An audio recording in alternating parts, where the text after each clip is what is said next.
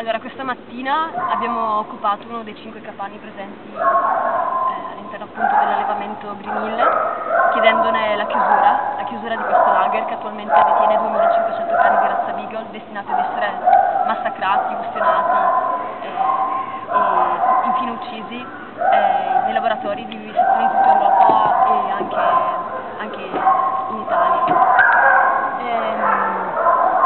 Chiediamo inoltre nuovamente alla Regione Lombardia di, di attivarsi per